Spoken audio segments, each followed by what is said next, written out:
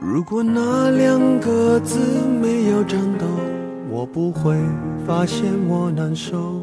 怎么说出口，也不过是分手。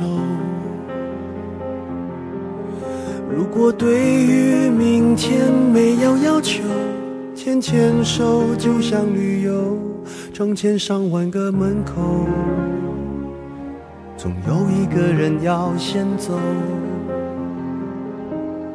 怀抱既然不能逗留，何不在离开的时候，一边享受，一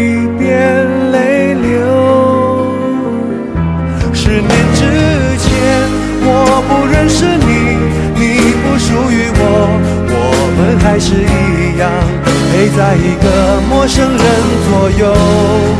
走过渐渐熟悉的街头，十年之后，我们是朋友，还可以问候，只是那种温柔，再也找不到拥抱的理由。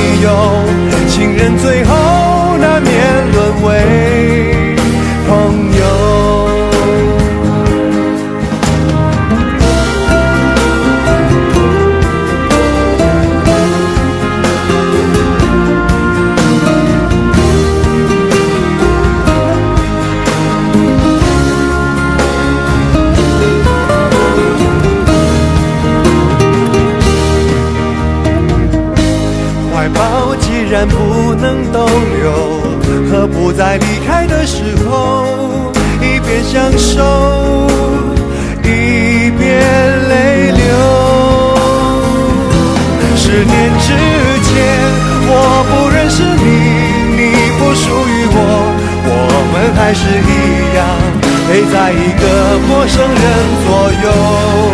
走过渐渐熟悉的街头，十年之后，我们是朋友，还可以问候，只是那种温柔，再也找不到拥抱的理由。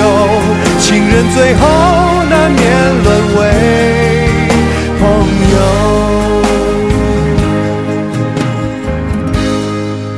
直到和你做了多年朋友。才明白我的眼泪不是为你而流，也为别人而流。